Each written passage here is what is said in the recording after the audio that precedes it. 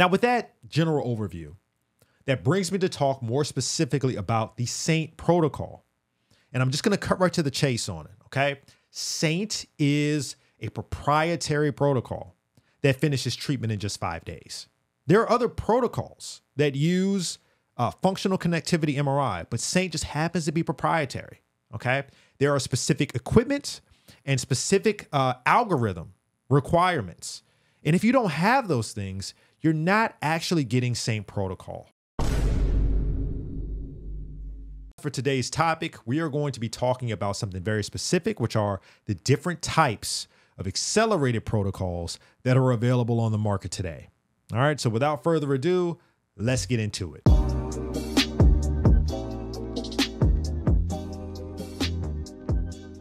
Accelerated protocols are the most talked about and the most publicized for TMS.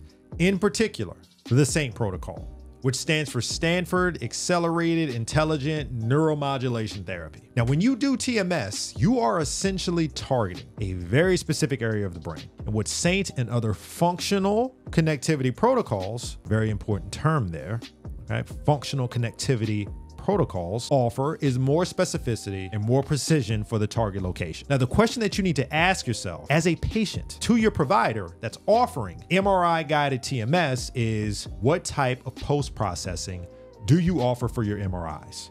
And you need to make sure that the MRI is actually able to see the functional connectivity because the functional connectivity shows the part of the cortex or the target area, which you can see here in this picture, that most connects to the subgenual anterior cingulate cortex. Okay, the SGACC is highly correlated with affecting depression and anxiety when it gets stimulated.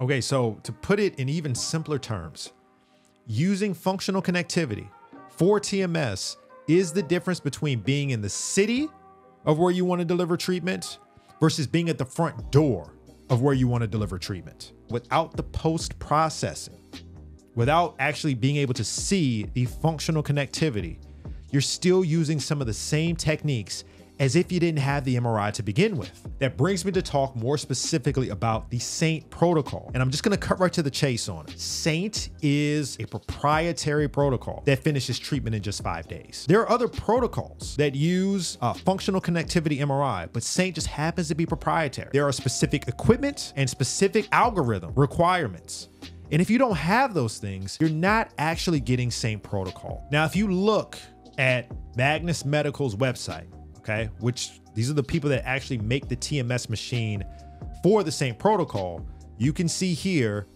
uh, down in the FAQs, you know, it's talking about a provider in my area is offering Saint, but I don't see them listed on the website. I wonder why. this is what the website says. There are many variations of transcranial magnetic stimulation protocols, and some providers are offering accelerated treatment pathways but the only sites offering FDA cleared Saint therapy are those that are listed here.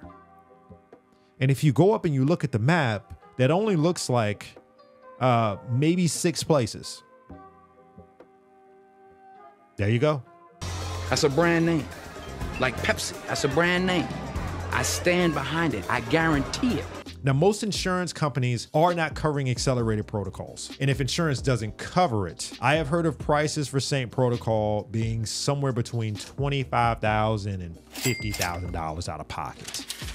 Which brings me to other options for accelerated treatment, more affordable options, I guess you could say. Now, if you look at this chart, you can get functional connectivity TMS. They use a different algorithm from the SAINT protocol, they use a different machine from the SAINT protocol, as I've already mentioned. But again, if the practice you go to is able to use functional connectivity, even though it's different from Saint, functional connectivity MRI, not functional MRI, not just an MRI, because those are completely different things, the results that you'll see from functional connectivity when compared to the proprietary protocol is expected to be pretty similar. And yes, for those of you that are curious, in case you don't have a provider near you that has either of those, either Saint or just regular functional connectivity, you can still do accelerated treatments without an MRI. You would just simply go through the traditional mappings of the target area, and you might be using a 3D guided uh, uh, imaging for your mappings and for your treatment locations. You might be using a cap. Um, some people use uh, head placement and measurements to keep things consistent betri- uh, between treatments. So you can do it without an MRI. It's just the downside is you're sacrificing the precision and the accuracy that an MRI affords. For my practice, I only plan to use functional connectivity MRI for my accelerated protocols. That's mostly because if I only have five days, plus my patients are paying out of pocket, I would want to be as sure as possible, as precise as possible, as specific as possible, as accurate as possible about the target location before going full bore for five straight days. With traditional mappings and treatments, it's not uncommon to need to remap for various reasons throughout the course of seven weeks. So you get a little bit more time to make adjustments, you get a little bit more time to monitor. Uh, but with the accelerated protocols, five days is much shorter than, you know, the seven weeks time that you have to, to, to make those adjustments. For more information about this topic and more general information about TMS, feel free to subscribe to this channel or you can visit my website at www.neopsych.com.